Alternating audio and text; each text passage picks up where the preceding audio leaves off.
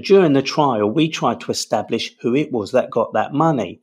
The police and the prosecution and the court refused to tell us who got that money.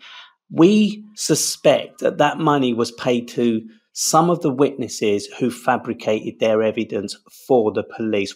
And it's crucial because if we would have had access to that during this six week trial, we could have confronted those witnesses about the evidence that they were giving. So there's one thing to stand there and say you're lying witness.